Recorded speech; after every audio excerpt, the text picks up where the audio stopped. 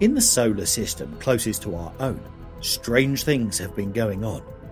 Only four light years separate us from Proxima Centauri, and for longer than that, astronomers have been noticing some peculiar signals on a planet in the system, Proxima b. The most brilliant minds in the space community have been rattled by these strange anomalies, known as artificial lights. What are they, though? Does this suggest that there is intelligent life on the planet? Do we have another civilization in our interstellar neighbourhood? Late in 2020, a signal from the direction of Proxima Centauri, our nearest neighbour star known as BLC1, was found. To make sure the signal isn't just an echo of our own civilization, which is usually what they turn out to be, it is still being analysed. So, why don't we simply examine the planets in Proxima Centauri to determine if there is a civilization there? From space, the glow from our planet's night side is the most obvious indication that someone lives on here. Light from our cities is emitted into space. The issue is that the telescopes of today's generation lack the power to detect lights on other solar systems. However, a number of scientists are currently evaluating the capabilities of the already conceptualized next generation of telescopes. We are looking at you, James Webb. What conclusions were drawn? Yes, if technologically or luminously advanced enough, we might be able to tell if Proxima Centauri is home to another civilization.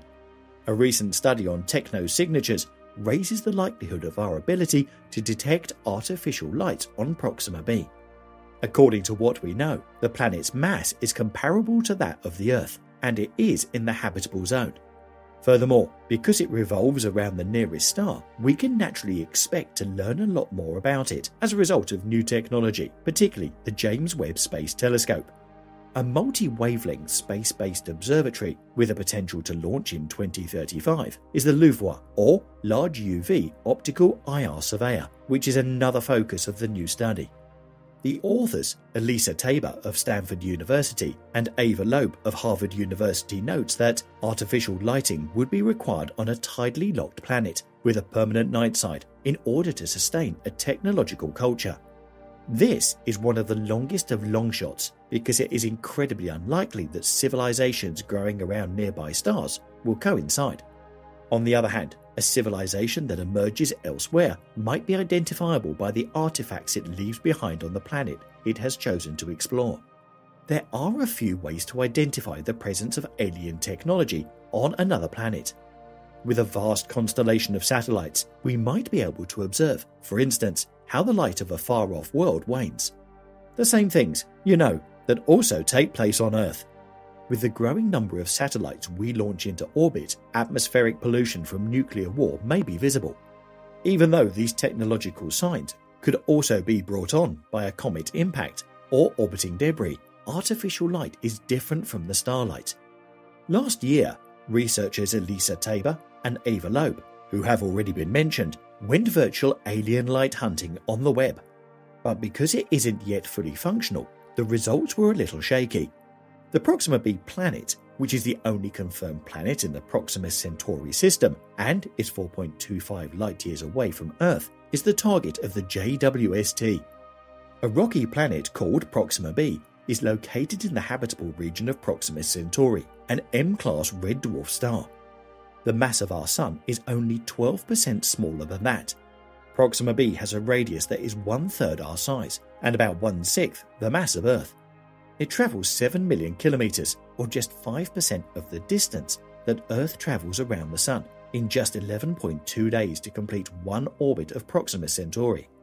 Artificial lighting was scaled by Tabor and Loeb as a portion of the solar illumination that our planet's day side reflects. On this scale, 0% implies that the planet's night side is completely dark. 100% would imply that the planet's night side and day side are both equally bright, which is also not conceivable. It is assumed that the hypothetical civilization on Proxima b uses a type of light similar to Earth based LEDs, which are clearly artificial in nature. What have we learned thus far, then? The Webb could identify the artificial light with an accuracy of 85% if Proxima b's artificial nightside illumination reaches 5% of the natural dayside illumination. Webb's detection rate would increase to 95% if artificial illumination were to reach 9%. 5% illumination doesn't sound like much. I know what you're probably thinking. In contrast to our Sun, which is about 20 times fainter, the light from Proxima Centauri is about as bright. Similar to setting a firefly next to stadium lights, that. However, even that much light is substantial on a cosmic scale. In contrast, only 0.001% of the reflected stellar illumination is represented by artificial lighting on Earth. In other words, the Webb would not be able to detect a civilization on Proxima b that is as lit up as ours. 500 times more brightness would be required for those lights. That situation is conceivable. As we've previously mentioned, Proxima b's orbit is so close to that of its host star that it may be tidally locked, with one side of the planet always facing the star and the other experiencing perpetual night. A tidally locked planet's civilization would likely need to concentrate on developing its lighting system, and it may use extremely bright orbital mirrors to reflect sunlight onto the day side of the planet, which could be seen by our telescopes. But of course, that's just theory. According to Tabor and Loeb's research, other telescopes in the future, like LUVOIR or the Large UV Optical Infrared Surveyor, may be even better than JWST at spotting the glow of an extraterrestrial civilization. Thomas Beatty of the University of Tucson's Department of Astronomy provided those numbers just a few days after the researchers' publication to support their claim.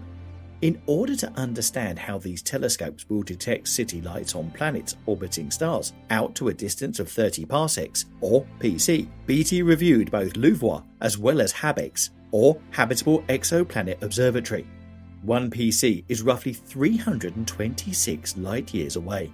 There is still a long way to go before HABEX and LUVOIR, which are both set to launch in 2035, catalogue and directly image exoplanets. On a number of star systems with known planets, such as Proxima b, as well as hypothetical Earth like planets orbiting GK and M class stars, Beatty used virtual replicas of LUVOIR and HABEX observatories a portion of the planet's surface that was urbanized was also scaled by Beatty. The night side of the planet is brighter the more urbanized the area is. The type of artificial lighting used in this model mimics high pressure sodium streetlights that reflect off of concrete surfaces and have a spectrum that can be distinguished from that of stars. These lights are the most prevalent lights on Earth. Therefore, the variables are the planet's distance from Earth its degree of urbanization, and the kind of star it orbits. For a minimum of 100 hours in each scenario, the virtual scopes image planets in order to gather enough light coming through the void to resolve the target. Only about 5% of the surface of the Earth is urbanized. If someone were to look at us through a telescope from Proxima Centauri, they wouldn't be able to see us. We might be able to see a faraway civilization more clearly if there were more people living in cities, say 100% more. But what does 100% urbanization actually mean? That is referred to as ecumenopolis. A city planet, or ecumenopolis, is a planet with a single enormous city spanning its entire surface.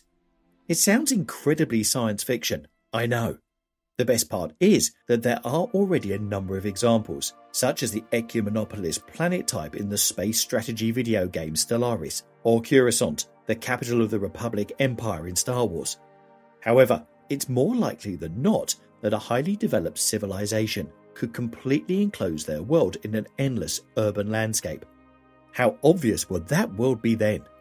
Future telescopes would be able to find ecumenopolis worlds around 82 stars close to the Sun, according to Beatty's model of the outcome.